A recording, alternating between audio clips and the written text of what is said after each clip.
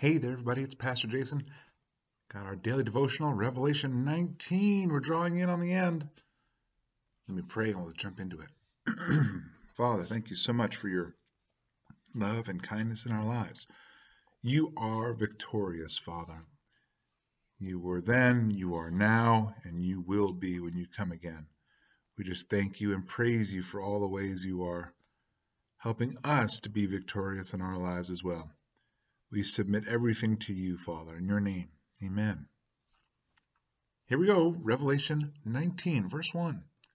After this, I heard something like a loud voice of a vast multitude in heaven saying, Hallelujah! Salvation, glory, and power belong to our God, because his judgments are true and righteous, because he has judged the notorious prostitute who corrupted the earth with her sexual immorality and he has avenged the blood of his slaves that was on her hands. A second time they said, Hallelujah! Her smoke ascends forever and ever. Then the twenty four elders and the four living creatures fell down and worshipped God, who is seated on the throne, saying, Amen, Hallelujah! A voice came from the throne saying, Praise our God, all his slaves who fear him, both small and great. And then I heard something like the voice of a vast multitude, like the sound of cascading waters, and like the rumbling of loud thunder, saying, Hallelujah, because our Lord God the Almighty has begun to reign. Let us be glad, rejoice, and give him glory, because the marriage of the Lamb has come, and his wife has prepared herself. She was given fine linen to wear, bright and pure. For the fine linen represents the righteous acts of the saints. then he said to me, Write, those invited to the marriage feast of the Lamb are fortunate. He also said to me, These words of God are true. Then I fell at his feet to worship him, but he said to me, Don't do that. I am a fellow slave with you and your brothers who have the testimony about Jesus. Worship God because the testimony about Jesus is the spirit of prophecy.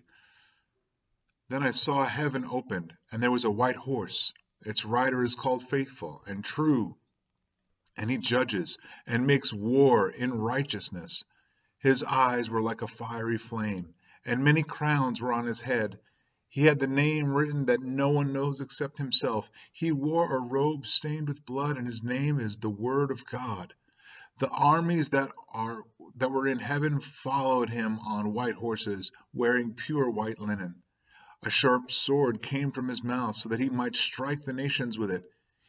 He will shepherd them with an iron scepter. He will also trample the winepress of the fierce anger of God the Almighty. And he has a name written on his robe and on his thigh King of Kings and Lord of Lords. Then I saw an angel standing on the sun, and he cried out in a loud voice, saying to all the birds flying high overhead, Come, gather together for the great supper of God, so that you may eat the flesh of kings, and the flesh of commanders, and the flesh of mighty men, and the flesh of horses and their riders, and the flesh of everyone, both free and slave, small and great. Then I saw the beast, the kings of the earth, and their armies gathered together to wage war against the rider on the horse, and against his army. But the beast was taken prisoner, and along with him the false prophet who had performed the signs in his presence, and he deceived those who accepted the mark of the beast and those who worshipped his image with these signs. Both of them were thrown alive into the lake of fire that burns with sulphur.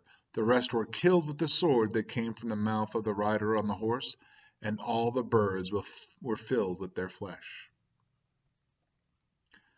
Chapter 19 The glorious return of Christ, how he wins the war and begins to usher things in.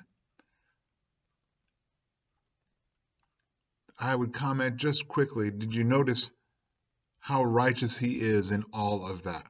He is righteous in all of it. The word proclaims his actions as righteous and, ju- and just.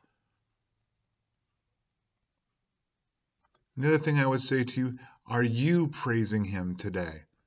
Are you praising Him for the victories that you've had in your life and the victories that you can praise Him for in the future that you know are coming? Do you honor the Lord with everything you say and do? May we be uh, part of the fine linen that is given out.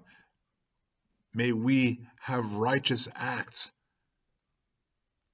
that help adorn the saint. May we continue to act as heirs with Christ, holy and pure. May we remember that He is the King of kings and Lord of lords, and that He will return and He will be victorious. I hope 19 has been a blessing to you. Go on out and be a blessing to those around you. I'll see you tomorrow with chapter 20. We might do 21 as well tomorrow and just wrap up Revelation this week. Have a great afternoon. See you tomorrow.